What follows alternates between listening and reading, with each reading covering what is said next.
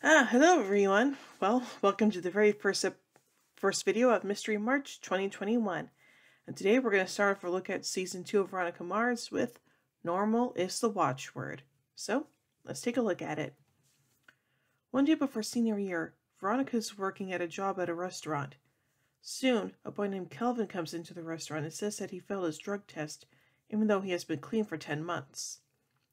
Veronica sees an interview with her father, Keith, on TV, and it is revealed that he wrote a book about the Lily Kane case. Okay, then. Wonder why he would do that. The episode then flashes back to the romantic cliffhanger at the end of season one, and it is revealed that Logan was at the door. Yeah, I kind of figured that. Logan reveals that the biker gang beat him up after he kicked Weevil in the face. Although he woke up with a knife and found when the gang mem- found one of the gang members was stabbed, Logan tells Veronica that he, they did not stab the gang member, and Veronica believes him. However, Leo comes and arrests Logan. Wallace says that he and Meg also failed their drug test.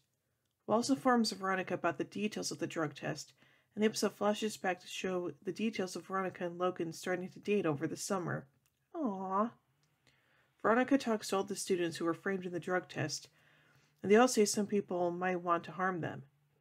Veronica has become estranged from Meg, and Veronica reveals that Logan was released from prison soon after he was arrested. That's good. Veronica connects the five people who framed to an incident where a student was publicly harassed in gym class. Keith is dating Alicia Fennell. Okay then. Veronica and Wallace spend the night investigating students. Veronica eventually deduces that Wallace ingested a small amount of an illegal substance, most likely in a gift basket earlier that year. Hmm. In a flashback, Veronica and Logan make out in the car until the PCH bikers shoot out the car's windows. Veronica conducts a drug test on Wallace finds that he's clean, which rules out the possibility that, food, that his food was spiked. Hmm. Veronica asks Keith for help in finding out the names of company shareholders and discovers that the parents of the second string athletes who have been promoted to starting positions as a result of the failed drug test are all shareholders in the trading company. Aha. Veronica believes that one of the lab assistants was paid off to forge the results. The previous summer, Logan was involved with an arson crime. Logan subbase with Dick and Beaver poolside, and they oogle at the brother's stepmother, Kendall Casablancas. Veronica sets up the parents and has Principal Clemmons listen in, and is revealed that Duncan is now dating Veronica. Huh. In a flashback, Veronica breaks up with Logan. When Logan starts to get angry, Keith barges in and makes him leave. Logan is carrying on a relationship with Kendall. Ugh. On a field trip, Veronica meets Gia. Dick arranges a limo ride for the 09ers, but Veronica makes decline and take the school bus. During the ride home, Veronica talks to Meg one more time, but she's still passive aggressive. Veronica explains to the audience that she and Duncan are dating. At a rest stop, Veronica sees Weevil and they debate about the stabbed gang member. Meanwhile, Veronica's bus drives away without her. Hmm, Instead, Weevil takes Veronica on his motorcycle before they run into before they run across the limo with Duncan, Gia, and the other 09ers in it. They tell Veronica that the bus full that the that the field trip bus full of students drove off the cliff and into the sea, and they look over the crashed bus. Ooh, yeah, that's definitely not good. So anyway, let's look at the production of this episode.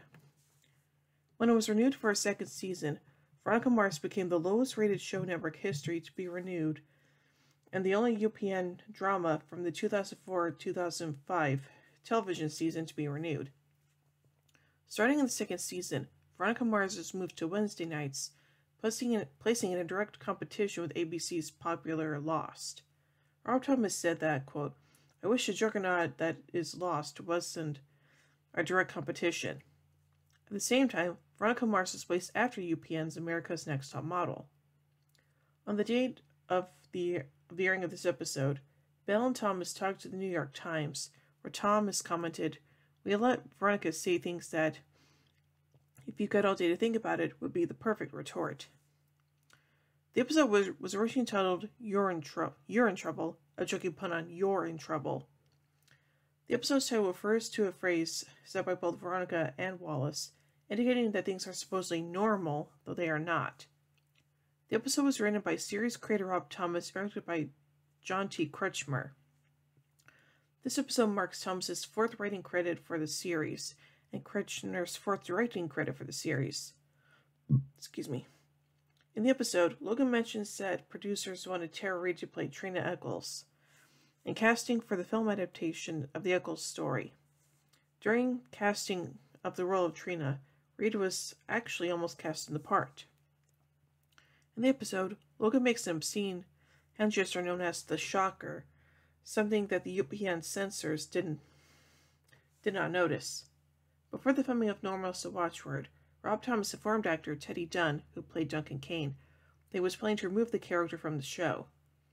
Dunn said that he was not too upset by the news, as he almost did not return for the season at all.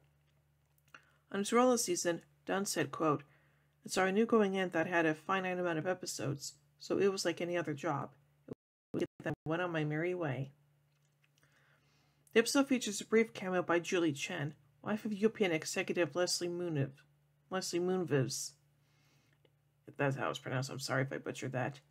The cast members did not know important plot information before they received the script for the episode, including who was at Veronica's door and that Veronica and Duncan would resume dating. Ashes by Embrace plays during the bus, cra- bus crash scene. And now, finally, on to casting. Normal is the watchword introduces several new characters and series regulars to the show. On casting the new season, Thomas explained that he conceived the show as a one year mystery and decided that he needed to introduce and eliminate several characters to be able to create an equally fascinating mystery for the series' second season. Thomas felt that he would not bring back the Kanes and the Echolls and have them and have them all involved in a new mystery. He needed new blood. At the opening credits, three new actors are given star billing. Two of these actors, Ryan Hansen as Dick Casablancas and Kyle Gallner as Cassidy Beaver Casablancas, served as recurring characters in the show's first season. In addition, this episode marks the first credit of Jackie Cook, played by Tessa Thompson, despite the fact that she does not appear in the episode. Several important recurring characters the show's second season are also introduced in, Normal in, Normalist Watchword. Kendall Casablancas, portrayed by Charisma Carpenter, best known for her role as Cordelia Chase on Buffy the Vampire Slayer and Angel, makes her first appearance in the episode. During casting, Heather Graham was considered for the role. However, Graham was filming Emily's Reasons Why Not. Carpenter said that she wanted to play the role because the name is really spectacular. The episode also introduces the character of Gia Goodman, played by Krysten Ritter, who later became known for her roles in Breaking Bad, don't Trust the Bee in Apartment 23, and, my personal favorite, Jessica Jones. Ritter reprised her role in the film continuation of Veronica Mars and called her role in this series her first big acting job.